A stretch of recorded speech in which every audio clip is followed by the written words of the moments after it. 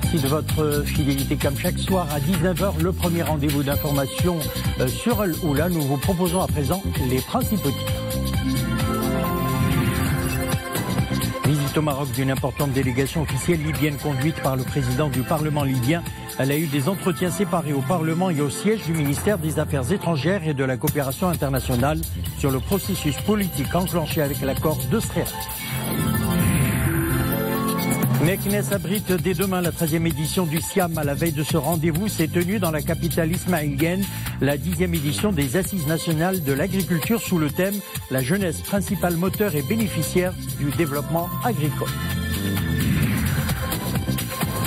Les journées du patrimoine, une manifestation pour mettre en valeur le patrimoine matériel et immatériel des deux rives du Bourg-Grec. Le site Borj monument historique de Salé, a vibré au rythme de la musique électro et Une importante délégation officielle libyenne est en visite au Maroc et devrait participer au forum parlementaire économique afro-arabe prévu après-demain et jeudi à Rabat. La délégation est conduite par le président du Parlement libyen et le président du Conseil supérieur euh, de l'État libyen qui ont eu des entretiens séparés au Parlement et au ministère des Affaires étrangères et de la coopération internationale. Le président du Parlement libyen a soulevé en particulier euh, les développements qu'a connu le processus politique enclenché avec l'accord de Srerat. Mohamed Les entretiens de la délégation libyenne ont particulièrement porté sur les amendements proposés concernant les accords de paix déjà conclus à Srirat.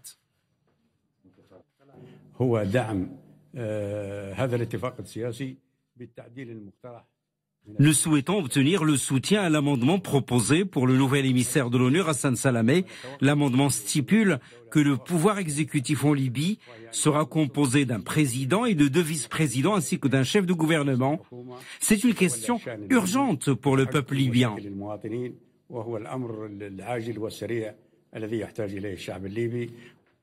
Au ministère des Affaires étrangères et de la coopération internationale, la demande libyenne a été soutenue. La situation en Libye est d'ailleurs au cœur des préoccupations du Maroc. C'était à Srirat qu'avait été signé l'accord politique libyen, accord qui constitue aujourd'hui encore l'unique plateforme à réunir tous les Libyens, un accord qualifié de transitoire et qui a besoin, à souligner le ministre des Affaires étrangères et de la coopération internationale, d'être adapté aux évolutions que connaît le processus de paix dans ce pays.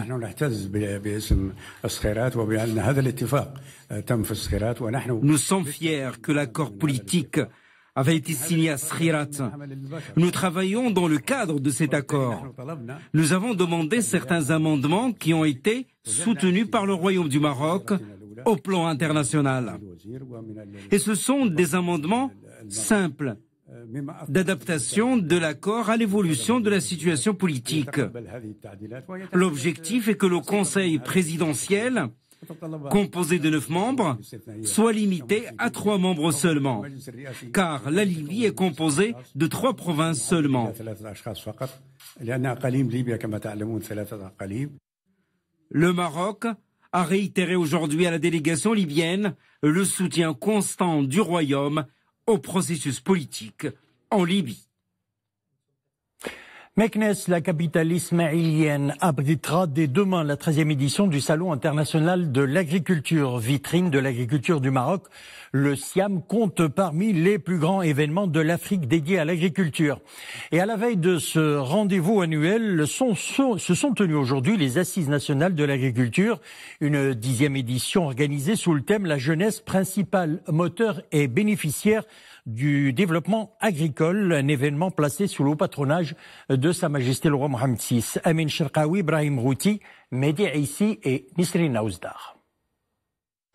Le Maroc confirme encore une fois son leadership en matière agricole. Devant un parterre de ministres et de décideurs africains et européens, le ministre de tutelle Aziz Arnouch a dévoilé les résultats du plan Maroc vert qui boucle ses dix ans, une stratégie ambitieuse qui a tenu ses promesses. La croissance du PIB agricole a atteint 7,3% durant les dix dernières années pour atteindre 125 milliards de dirhams. Euh, le PIB agricole a augmenté euh, de, en moyenne par an depuis 2008 de 7%, beaucoup plus que le, le PIB non agricole. nous avons atteint 125 milliards de dirhams. Les assises de l'agriculture proposent cette année une réflexion sur l'urgente nécessité d'intégrer la jeunesse au développement agricole. L'Afrique est la plus jeune région du monde, plus de la moitié de sa population a moins de 25 ans. La nouvelle génération peut largement contribuer à améliorer la productivité du secteur. Un accord a été d'ailleurs signé dans ce sens entre le Maroc et la Côte d'Ivoire. Les producteurs marocains pourront avoir accès à une plateforme logistique en Afrique de l'Ouest pour accéder au marché ouest africain, les producteurs ouest africains auront euh, accès à cette plateforme logistique pour venir sur le marché euh, d'Afrique du Nord et du, Moyen-Orient. Rendre le secteur agricole le plus attractif pour les jeunes, les former, les accompagner et leur accorder les financements nécessaires est désormais une priorité majeure dans les deux côtés de la Méditerranée. Les futurs de l'agriculture passent sans doute pour euh, la jeunesse, pour offrir aux jeunes euh, un bon euh, milieu de vie dans l'agriculture. Alors c'est important de travailler pour que l'agriculture soit rentable, soit un bon monde, de, monde de vie pour, pour la jeunesse. Il faut donner de bons services. Nous avons des stratégies au niveau du continent, la stratégie de l'agribusiness, et nous cherchons à l'opérationnalisation de cette stratégie pour engager les jeunes dans l'agriculture. Les jeunes peuvent accélérer le développement du secteur agricole et améliorer sa productivité. Cela passe par la formation et l'aide financière, mais également par la mise en valeur des exemples de success stories. Rouda Boulhid, c'est parmi les jeunes qui brillent dans ce secteur. Spécialisé dans la production de la tomate et du melon, son entreprise a bénéficié d'une aide étatique dans le cadre du plan Maroc Vert. Aujourd'hui, les affaires vont bien pour elle. Nous sommes passés par plusieurs étapes avant d'obtenir un terrain agricole et concrétiser ce projet avec 27 autres jeunes de la région. Tout se passe bien. Le ministère de tutelle nous a aidés à réaliser les études techniques et celles relatives à l'aménagement hydro-agricole.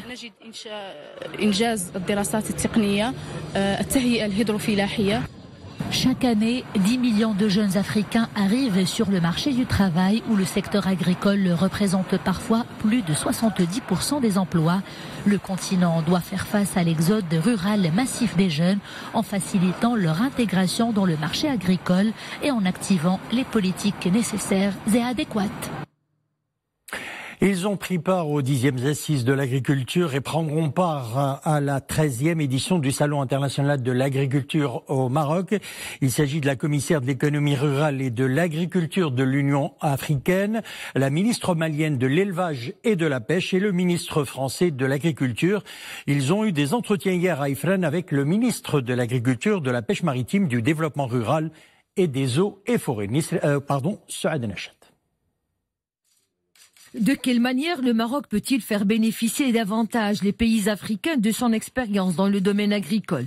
D'autant que les opportunités de partenariat entre le Royaume et les pays du continent sont aussi larges que diversifiées, soutenues par une coopération sud-sud, dont le Royaume se positionne en leader. Le Maroc, c'est un pays phare pour euh, l'expérience de la coopération sud-sud en Afrique. Voilà pourquoi je suis là pour euh, vraiment m'inquiéter, c'est que comment est-ce que le Maroc transforme son agriculture? C'est le lieu de remercier encore Sa Majesté Mohamed VI de l'appui et de l'accompagnement qu'il fait pour le Mali et pour son ami, son Excellence Ibrahim Bouakar. Nous sommes là aussi pour assister aux assises. Ces deux responsables prennent part au SIAM 2018, tout comme le ministre français de l'Agriculture et de l'Alimentation, désireux de partager l'expérience de son pays avec le savoir-faire marocain dans les domaines de la formation et de la recherche agricole. Euh, c'est ici où euh, on vient euh, eh bien, porter toutes les innovations les investissements euh, dans l'agriculture euh, euh, du, continent et pour le Maroc. Et c'est l'occasion pour le Maroc de venir montrer eh bien, ses savoir-faire et d'inviter eh bien, de, de, nombreux, de nombreux pays à venir partager ensemble le souci de faire progresser nos modèles agricoles. 70 pays, 1400 exposants, plus de 850 000 visiteurs attendus au Siam, un des plus grands événements du continent dédié à l'agriculture et aux opérateurs du secteur. On passe à présent à l'actualité internationale. Nous l'entamons par la Syrie. Les bombardements du régime syrien sur un des derniers bastions de l'organisation terroriste État islamique fait cinq morts, tous des civils. Cela s'est passé dans la périphérie sud de Damas. Et parmi les victimes figurent un couple et leur enfant. Cela porte à 11 tués depuis euh, l'intensification des bombardements jeudi. Les troupes syriennes bombardent depuis plusieurs jours le camp palestinien de Yarmouk et les quartiers voisins où vivent des milliers civils afin de reprendre le contrôle total de la capitale. Réunion du G7 à Toronto, au Canada. Les grandes puissances ont confirmé leur front uni face à la Russie. Ils ont affiché également leur fermeté avant des négociations historiques avec la Corée du Nord, sans avoir surmonté leur division sur l'Iran à l'approche d'une décision cruciale des États-Unis. Les débats ont porté également sur le renforcement de la démocratie contre les ingérences étrangères, une allusion claire au rôle attribué à la Russie lors des élections aux États-Unis ou en Europe. Et puis, heure entre habitants et migrants sur l'île grecque de Lesbos. Plusieurs ressortissants afghans ont été blessés lors d'affrontements avec un groupe d'extrême droite. Des bouteilles d'eau et des fusées de détresse éclairantes ont été lancées par le groupe d'extrême droite. Certains blessés afghans ont été transférés à l'hôpital. Les affrontements ont duré toute la nuit. La police a jeté des gaz lacrymogènes pour disperser la foule et évacuer la place.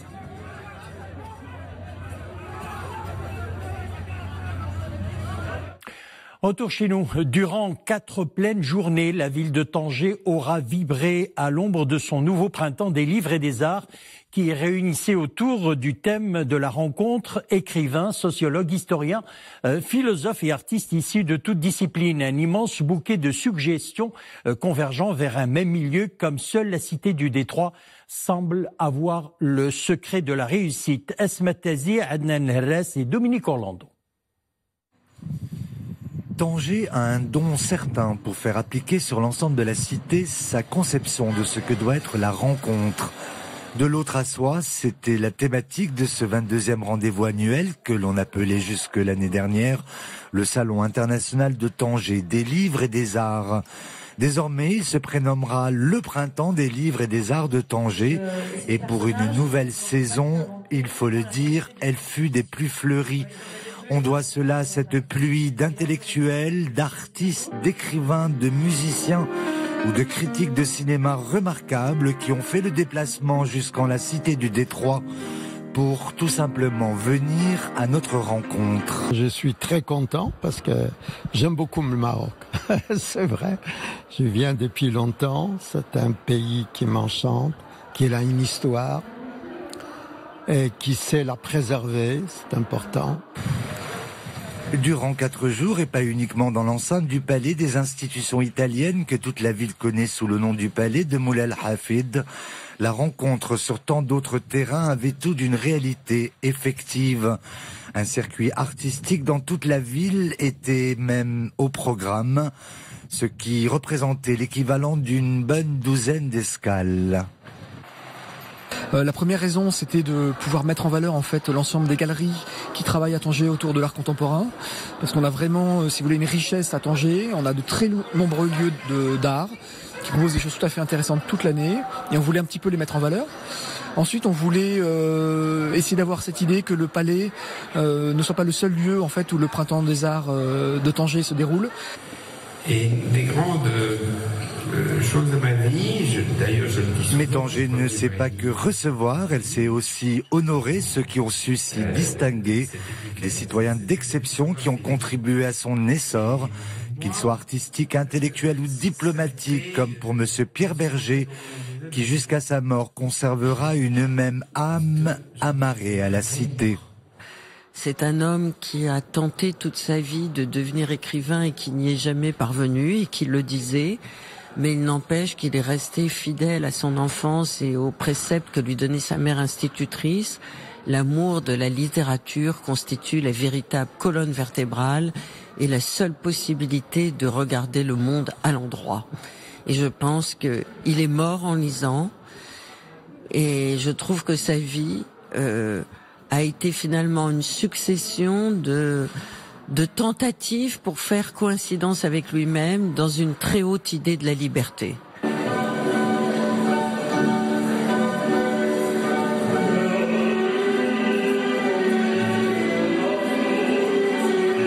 Mais ce que l'on retiendra également, c'est l'adhésion du public de la ville elle-même qui a su appliquer à la lettre cette rencontre de l'autre à soi, c'est-à-dire en étant réceptif et en se laissant porter par tout cet éventail passionnant de suggestions d'éveil et parfois même d'élévation, comme autant de chemins pour aller à la découverte de soi.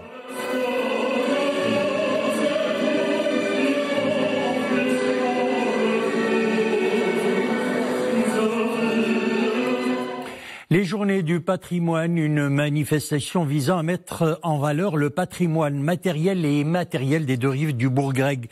Elle est organisée par l'association Rabassa les Mémoires à travers plusieurs activités, ateliers d'artisanat, promenades dans les sites ainsi que des spectacles musicaux. Le site Bourg de monument historique de la ville de Salé, s'est transformé en scène éphémère au menu euh, du spectacle musique électro fusionnée à la musique Hadra Mounia.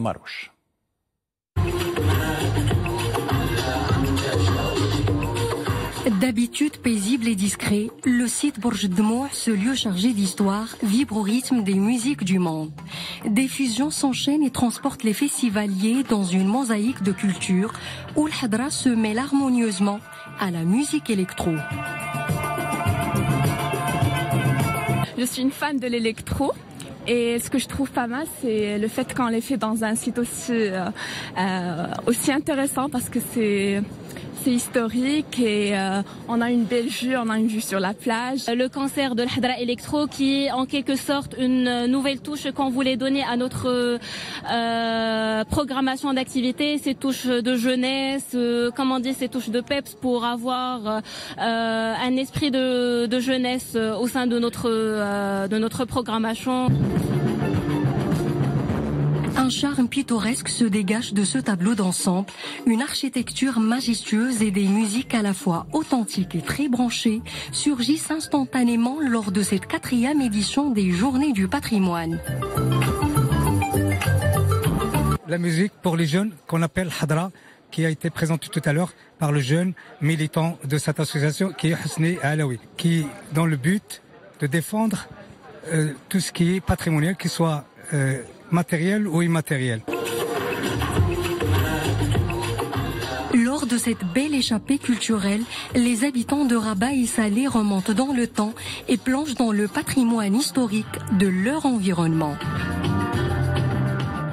Voilà, c'est en musique que nous refermons l'édition. Merci de nous avoir suivis. Le retour de l'info 21h. Une excellente soirée à demain.